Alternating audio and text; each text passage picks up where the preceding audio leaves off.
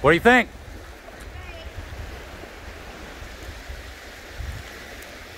Oh, you, did you catch one? Yeah. There's like hundreds out here.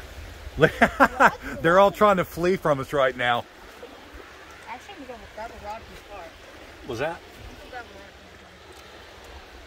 You're gonna get a rod? Yeah. Hey, baby, if you hook a shark out here, I can't help you right now. We don't have the gear.